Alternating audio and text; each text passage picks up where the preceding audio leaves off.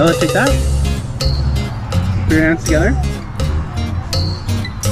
Close your hands. Once upon a time there Oh was my a goat gosh. named Bill. You baby. Here, grab this. Clover, eating his fill. Okay, pull the cup down. Flowers on a nice green hill.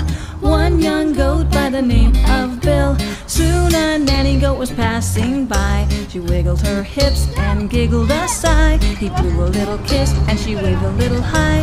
One bright day she was passing by. When fell. He wiggled his ears and jingled his bell. He grinned a little grin and you could just do you guys think? tell it was cool? love in which Billy fell.